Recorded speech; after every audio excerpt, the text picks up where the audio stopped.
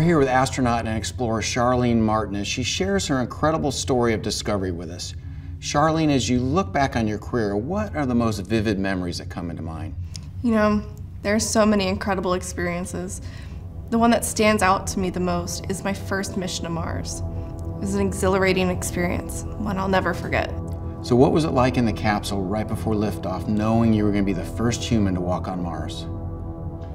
Oddly enough, in that moment, you're not thinking about the enormity of it all. You know, you're going through your checklist, your training, making sure everything's working how it's supposed to be. Nominal, as we would say. But at some point, didn't you take a second to let it all soak in? Yes, the countdown resumed. You know, there was this moment.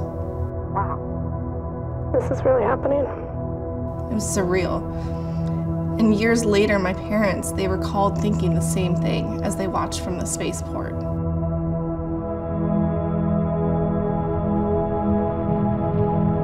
Come on, baby.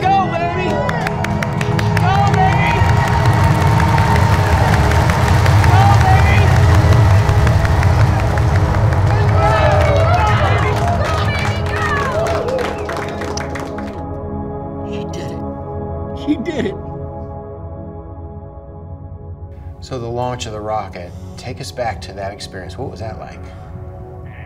As the countdown nears zero, there's nothing to do but sit back. Then the engine lights up. You feel the acceleration and the power. Words can't really describe it.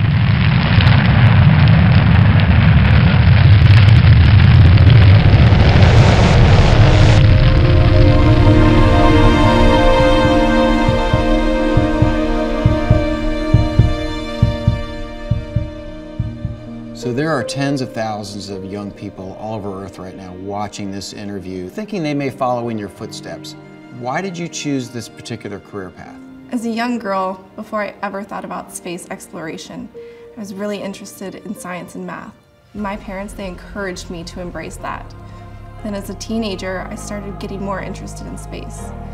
And one instance that I'll never forget is them taking me to go see one of the Artemis moon launches.